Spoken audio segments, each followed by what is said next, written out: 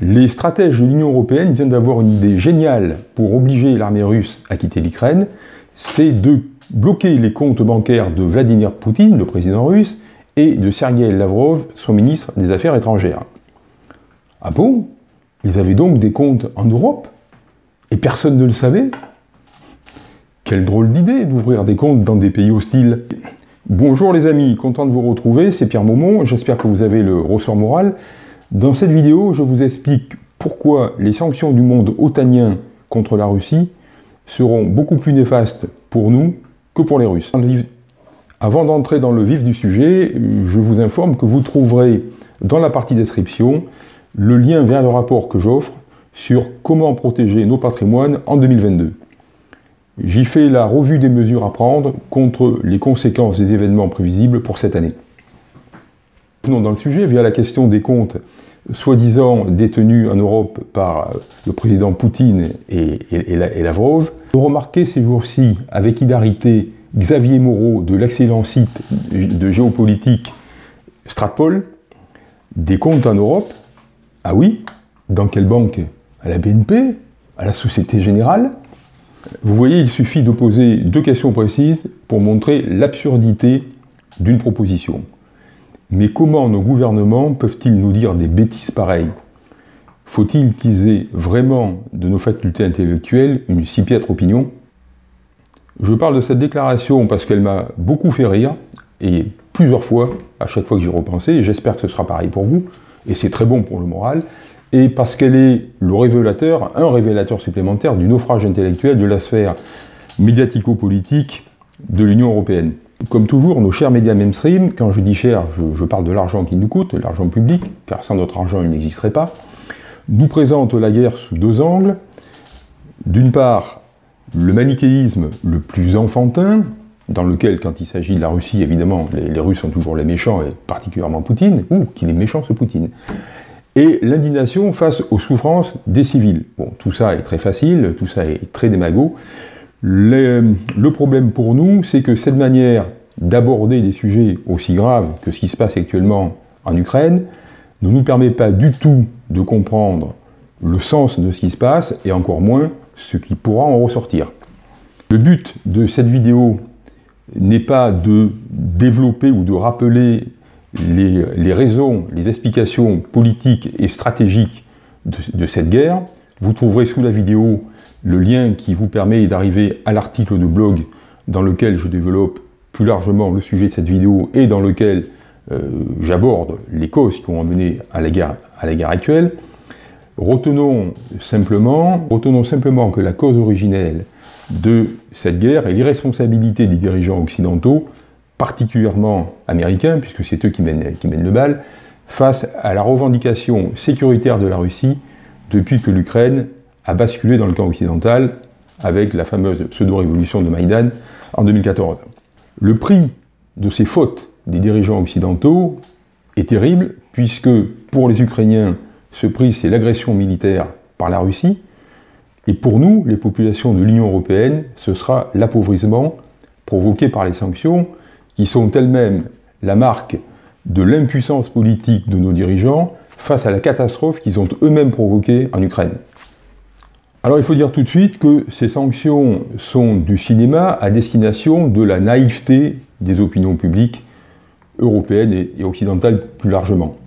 Sur le thème, nous sommes des dirigeants responsables, c'est pour cela que nous n'allons pas intervenir en Russie pour ne pas provoquer la Troisième Guerre mondiale, mais on va frapper la Russie au portefeuille, ce qui est beaucoup plus efficace.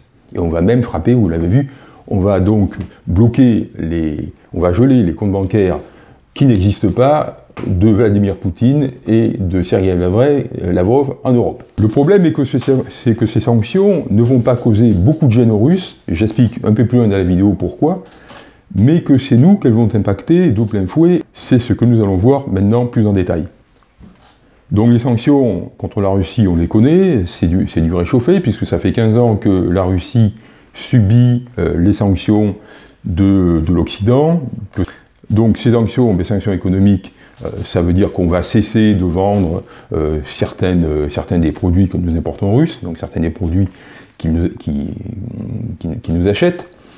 donc clairement, ça veut dire que pour nos exportateurs de ces, ces produits-là, ça va, ça va gêner évidemment leur, leur développement particulièrement pour les produits agricoles qui, il faut s'en rappeler, avaient été euh, un, des premiers, des premiers domaines sur lesquels on avait fermé le robinet euh, d'exportation vers la Russie, ce qui a causé de très gros problèmes à nos, à nos paysans, euh, confèrent vos souvenirs d'il y, y, a quelques années. L'autre conséquence, c'est que comme on va, on envisage déjà très intelligemment de ne pas leur acheter leur gaz, c'est bien connu, on a beaucoup, beaucoup trop de gaz en, Europe, hein. on, ne sait plus quoi faire de, de, nos ressources euh, en hydrocarbures et en gaz, donc on ne va plus acheter le gaz russe qui ne nous sert à rien. Bon, on a acheté du gaz russe, qui ne servait à rien. Bon, euh, bon malheureusement, c'est pas tout à fait ça, on, achète du gaz russe, d'abord parce qu'il est beaucoup moins cher que le gaz américain, euh, qu'il arrive à flot continu par, le, par les fameux pipelines Nord Stream 1, 1 et 2, euh, et enfin bientôt, deux. Et évidemment, c'est beaucoup plus intéressant pour l'économie européenne de fonctionner comme ça que de s'adresser à d'autres fournisseurs. Donc si on n'achète plus le gaz aux Russes, eh bien, ça va nous poser un problème, puisqu'on va le remplacer par du gaz plus cher. Et puis ça va globalement nous poser de manière indirecte un autre problème, c'est qu'on va réduire l'offre ça revient à réduire l'offre euh, d'hydrocarbures sur le marché mondial, donc ça va encore faire monter les prix. Pour les Russes, c'est excellent, puisqu'ils sont euh, vendeurs de ce genre de choses, et même s'ils ne trouvent pas euh, de quoi remplacer euh, la totalité de nos achats par d'autres importateurs, ils continueront quand même à écouler une part significative de leur production de gaz, et à un prix plus cher, donc merci les Européens et les Américains de vos sanctions. Augmentation des prix des matières premières et de l'énergie c'est la cause actuelle de l'inflation, enfin c'est la cause principale de l'inflation actuelle, et bien là, on va encore la, renforcer puisqu'on va encore augmenter le prix des matières premières et, de l'énergie, donc c'est vraiment génial, c'est vraiment génial pour le système financier de l'Union européenne puisque l'augmentation de l'inflation pousse à augmenter les taux, et j'ai expliqué souvent dans des vidéos et, dans divers, divers articles, notamment sur mon blog, que cette augmentation des taux met en péril la solvabilité de tout le système en Union européenne, en particulier des États et des banques. Donc directement au niveau des entreprises qui, qui, ont des échanges avec la Russie, en particulier des entreprises françaises, eh bien ça veut dire que lorsque les domaines dans lesquels ces entreprises interviennent sont sur la liste euh, de ce qu'il ne faut pas vendre aux Russes, eh bien ces entreprises vont perdre des débouchés, ce qui bien sûr va nuire à leur développement, éventuellement pourrait peut-être entraîner la faillite de certaines, et donc des plans de licenciement, donc du chômage, etc., etc. Cette mesure est vraiment géniale. Mais on peut toujours faire mieux dans la bêtise, et euh, on atteint, semble-t-il, le maximum avec l'idée d'exclure la Russie du, système de paiement internationaux qui s'appelle SWIFT. Vous avez dû en entendre parler, puisque avant même que l'armée russe attaque euh, l'Ukraine, on parlait déjà de cette possibilité euh, pour, bah, pour embêter les Russes dans leur opposition euh, au, gouvernement ukrainien. Donc c'est une idée qui a été émise par notre génialissime euh, ministre de l'économie et des finances, Bruno Le Maire, qui explique que cette décision va exclure la Russie du système financier mondial et provoquera l'effondrement, l'étouffement de l'économie russe. Ah oui, ça, ah oui, ça, ça va être efficace. Ben, réfléchissons aux conséquences. Mais la première conséquence de, ce principe, c'est qu'on va donc cesser de commercer avec les Russes. Ah non, parce qu'on nous explique qu'on ne va pas cesser de commercer avec les Russes. Ah bon? Mais euh, là, ça va être un peu compliqué du point de vue conceptuel. Parce que si les Russes ne sont plus dans SWIFT, comment pourront-ils payer nos exportations vers eux? Et comment nous pourrons-nous payer leurs importations vers nous? Je ne sais pas. Alors continuons le raisonnement. Si nous ne pouvons pas les payer, eh bien ils vont cesser de nous livrer le gaz, le pétrole, les métaux rares, et puis pas que des matières premières. Alors, alors vous me direz, oui, mais il y a d'autres fournisseurs que les Russes pour ces produits-là, certainement.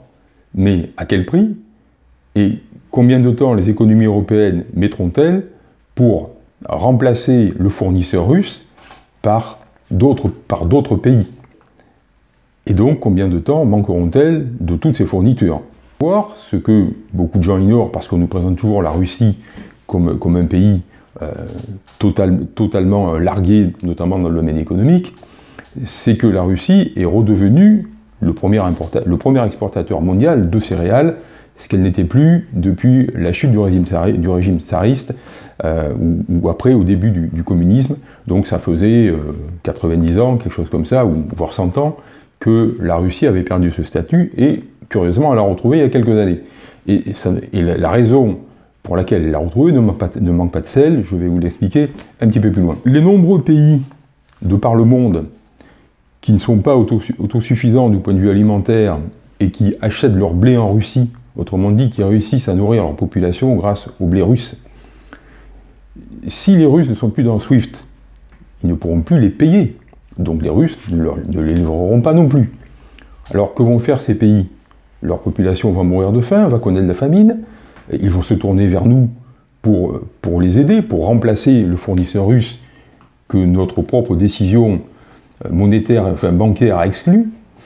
Peut-être, mais est-ce que nous avons, nous, la capacité de nous substituer aux Russes si les Russes cessent d'exporter leurs céréales Donc j'arrête là le raisonnement, je vous laisse continuer vous-même dans, dans, tous les axes possibles à partir de, l'éviction de la Russie du système SWIFT, toutes les conséquences possibles. Donc une fois de plus, on voit qu'il suffit de réfléchir pour démonter l'inanité des discours de nos dirigeants, et on comprend à travers cette réflexion que la Russie joue un rôle beaucoup trop important dans l'économie mondiale pour qu'il soit possible de la mettre hors du système SWIFT sans foutre le bazar un peu partout dans le monde. Voyons maintenant les choses côté russe. Autant ça sera mauvais pour nous, autant côté russe, bah, c'est plutôt favorable. Euh, on a déjà l'expérience du résultat des sanctions précédentes, donc je vous ai signalé que depuis quelques années, la Russie était redevenue le premier exportateur mondial de céréales, place qu'elle avait perdue il y a un siècle. La, raison pour laquelle elle a retrouvé cette place, c'est que, à cause des, embargos euh, qu'on a mis, embargo n'est pas le terme, embargo est une dénomination euh, guerrière, mais euh, à, cause des sanctions économiques, de fournitures, etc., qu'on avait mis sur la Russie depuis 15 ans, eh bien, elle a été amenée à faire un très gros effort pour sa production agricole, de moderniser considérablement son système agricole. Vous savez certainement, souvenir de, de, ce que vous avez appris à l'école quand vous étiez enfant, la terre russe est une terre qui est extrêmement euh, riche pour, l'agriculture, extrêmement productive, et donc la Russie est redevenue le premier exportateur mondial de céréales. Profite pour vous signaler que la balance du commerce extérieur russe est excédentaire d'environ 100 milliards par an. Euh, il y a quelques années, c'était 120 milliards. Bon, le truc s'est un petit peu déréglé euh, depuis quelques années à cause de, la baisse qu'il y a eu sur le prix des, hydrocarbures. enfin, ça, c'est visiblement, c'est du passé. Et que face à ces 100 milliards d'excédents russes, nous, France, on est à moins combien? Moins 100 milliards. Hein. on est à un déficit, je crois, de 100 milliards, ou peut-être même plus. Euh, un déficit euh, donc, de la balance extérieure considérable. Donc vous voyez que quand on croise les choses, on s'aperçoit de plus en plus de la puissance de, la Russie, de la puissance de son, économie. Alors il n'y a pas que l'agriculture. L'agriculture, on va dire, est un bon, témoin de, des progrès que les Russes ont fait depuis quelques années, enfin, qui sont en progrès continu depuis, euh, depuis 2000 à peu près, mais notamment ces, dernières années. L'industrie russe s'est énormément modernisée, ils ont fait des, investissements de modernisation considérables.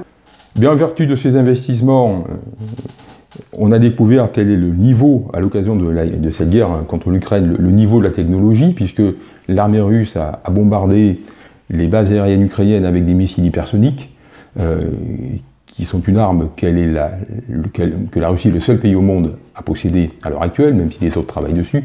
Seule la Russie a une dotation opérationnelle de missiles hypersoniques dans son armée. Euh, un, autre, un autre critère, c'est qu'aujourd'hui, le secteur industriel représente dans l'économie russe 26% du PIB. Euh, il est pour l'Allemagne de 23%, pour l'Italie de 20% à peu près, et pour la France de 13%. Le dernier sujet que je vais aborder pour vous présenter le tableau de la, de la force de l'économie russe, c'est le chiffre de son PIB, de son PNB, ce qui n'est pas tout à fait pareil. Euh, bon, restons sur la notion de PIB, qui est le, mot que vous entendez le plus souvent dans ce domaine-là.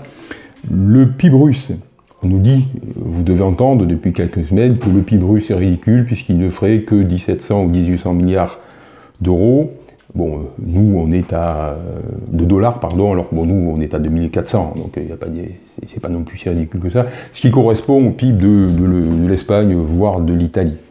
En réalité, ce chiffre, ce chiffre qui est, juste, mais pour comprendre ce qui signifie vraiment, il faut, ce que signifie vraiment un PIB, ou ce que, ce que signifie tout simplement un prix dans un pays quel qu'il soit, il faut raisonner en ce qu'on appelle en parité de pouvoir d'achat. Autrement dit, c'est avec un euro ou un dollar, ce que vous voulez, qu'est-ce qu'on peut acheter en Russie par rapport à ce qu'on peut acheter, mettons en France, ou mettons en Allemagne, ou mettons aux États-Unis. Et là, on s'aperçoit donc que cette parité de pouvoir d'achat, est à peu près de 1 pour 2,5. Autrement dit, ça veut dire qu'un PIB euh, russe qui fait 1700, mettons 1800 milliards de dollars, euh, ça représente en parité de pouvoir d'achat un PIB qui ferait pas loin de 4000 milliards de dollars. C'est-à-dire que la Russie, avec ses 1800 milliards de dollars de PIB, elle a la même, la même capacité de dépenses, d'investissement, etc., que en aurait la France ou l'Allemagne si nous avions un PIB de 4000 milliards de dollars. Et un PIB, donc en parité de pouvoir d'achat de 4000 milliards de dollars, eh bien, tout simplement, ça en fait une des cinq premières puissances économique mondiale. Pour terminer le, tableau de l'économie russe, ben, voyons le, côté, financier. Le côté financier a vraiment de quoi nous faire rêver, nous Français et même nous, dans l'Union Européenne, y compris l'Allemagne. Donc c'est un pays qui a des réserves de devises et d'or qui s'élèvent à 600 milliards de dollars, dont me semble-t-il à peu près le quart sous, forme d'or. La dette publique représente 16% du PIB. Pour mémoire, en France, c'est 117% du PIB. En Allemagne, qui est euh, le, grand pays le plus vertueux là-dessus de l'Union européenne, on est à presque 70% du PIB. Donc là aussi, je dirais que les Russes et nous ne jouons pas dans la, ne jouent pas dans même cour que nous. Maintenant, maintenant que, vous connaissez que vous connaissez ces faits, pensez-vous qu'on puisse sérieusement penser vaincre une telle puissance avec des sanctions économiques et financières que l'on pourra prendre sachant que beaucoup d'entre elles sont impossibles à prendre. Donc plus concrètement, quand on regarde la structure de son commerce extérieur, on voit que son premier client et fournisseur est la Chine, avec 20 à 25% de ses échanges extérieurs, ce qui est, considérable. vient ensuite l'Allemagne et les Pays-Bas, avec chacun entre 7 et 10% aussi bien en importation qu'en exportation. Quant aux échanges avec les USA, ils représentent moins de 5% du commerce extérieur russe. Conclusion, ces statistiques nous montrent que les sanctions occidentales, en pratique, n'auront que peu d'effet sur le fonctionnement de l'économie russe.